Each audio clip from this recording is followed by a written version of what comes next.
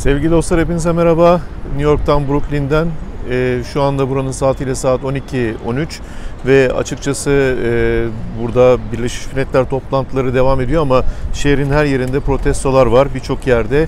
Ben şu anda Brooklyn'de bunları görmüyorum ama merkeze indiğiniz zaman ciddi protestoların olduğunu görebiliyorsunuz. Şimdi e, tabii bu bir yandan Birleşmiş Milletler toplantıları devam ediyor size bunları aktarıyorum ama bir, bir yandan da dün e, aslında bir beklenmeyen gelişme oldu ve Başkan Trump'ın e, azli için e, Temsilciler Meclisi Başkanı Nancy Pelosi bir süreç başlattı. Bu çok alışılagelmiş bir şey değil. Daha önce e, yaşanmış olanlardan hareketle şöyle söyleyebiliriz. Clinton'ın da e, azli sürecinde e, bu sefer tam kadrolu bir e, Temsilciler Meclisi'nde oylama yapılarak bu oylamanın sonucuna göre böyle bir karara gidilmiş ama şimdi Nancy Pelosi 6 tane e, 6 6 tane farklı komisyona bilgi vererek bu süreci başlattığını açıkladı. Şimdi süreç nasıl işleyecek, neler olabilir bunları size anlatayım. Bir kere e, bu azil süreci yeni değil. Daha evvel e, Bill Clinton için 1999 yılında bir süreç e, başlatılmış ve bu süreç toplam 127 gün sürmüş. E, daha sonra daha önce Andrew Johnson için 1868 yılında bir süreç başlatılmış. Bu süreçte 94 e, gün sürmüş. Şimdi sürecin aşamalarını söyleyeceğim ama en son senatoya geldiğinde senatoda her ikisi de hem Andrew Johnson hem de Bill Clinton aklanmışlar. Bir de aslında e, Richard Nixon var. Richard Nixon 1970'de 1974'te Watergate skandalı ile ilgili olarak onun hakkında da bir azil süreci başlatılmış. Ama e, bu süreç e, Temsilciler Meclisi'nde kabul edilince yani Senato'ya gitmeden evvel Temsilciler Meclisi'nde kabul edilince Nixon istifa etmiş ve sürecin sonunu beklemeden ayrılmış. Dolayısıyla Trump aslında bu sürecin içerisinde yeni bir kişi değil bu sürecin başlatıldığı. Daha evvel iki kişi için süreç sonuna kadar gitmiş. Bir kişi için de Temsilciler Meclisi'nde sürecin başlatılması yönünde karar verildikten sonra e, o başkan ki Richard Nixon, Nixon istifa ederek ayrılmış görevden. Şimdi nasıl işliyor? Ben de bildiğim bir konu değil. Sizin için sabahleyin araştırdım. Çünkü bütün buradaki gazetelerde, medyada her tarafta Trump'ın azli konusu çok gündemde. Özetle neden ortaya çıktı bu? Ee, en büyük başkan adaylarından bir tanesi, Demokrat Parti'nin adaylarından bir tanesi Joe Biden biliyorsunuz çok kuvvetli.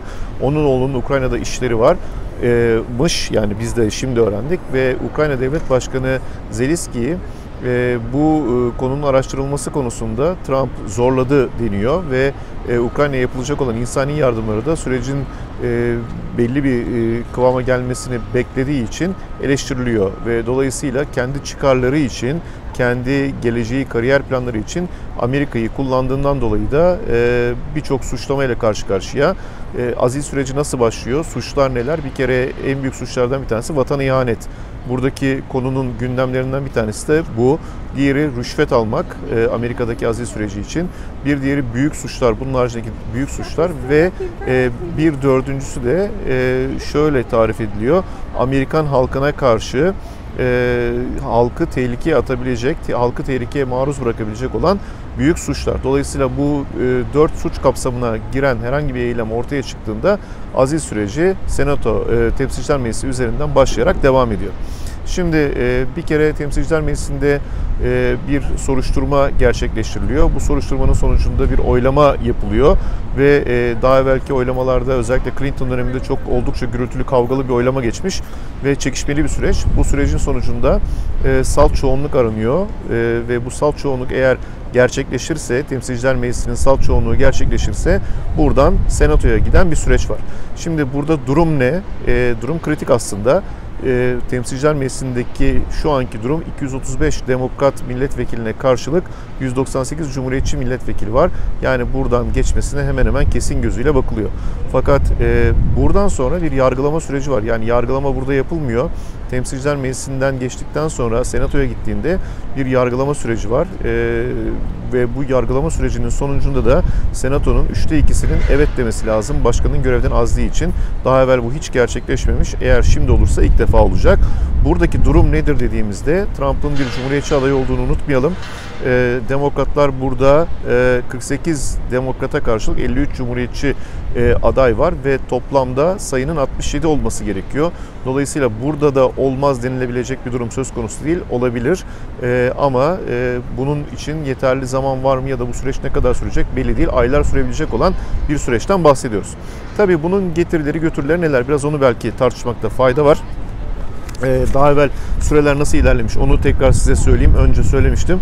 Johnson için 94 gün sürmüş olan bir süreçten bahsediyoruz. Clinton için 127 gün sürmüş. Ee, Richard Nixon için de 184 gün süren bir süreçten bahsediyoruz. Bu sürecin sonunda e, azil süreci sonlanmış olumlu olarak Clinton e, için ve e, ve Andrew Johnson için. Diğerleri demin söylediğim gibi Richard Nixon kendisi istifa etmiş. Şimdi buradaki süreç ne olabilir?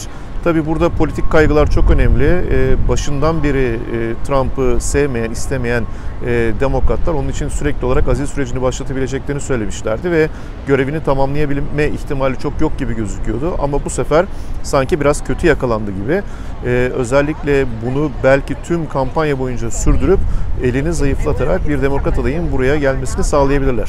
Dolayısıyla bu bir bilinmezlik, belirsizlik yaratıyor. Tabii işin bir tarafından e, bu adayın yani Trump'ın başkan olamama ihtimalinin de ortaya çıkıyor olması e, dünyanın tam da ticaret savaşlarıyla aslında daralmaya gittiği bir dönemde ben bunu e, Çin açısından, uzak ülkeler açısından, Avrupa açısından e, bu süreci olumlu gibi algılayabileceklerini düşünüyorum. Ee, ama sonuçta bir belirsizliktir. Ne olabileceğini bilemiyoruz.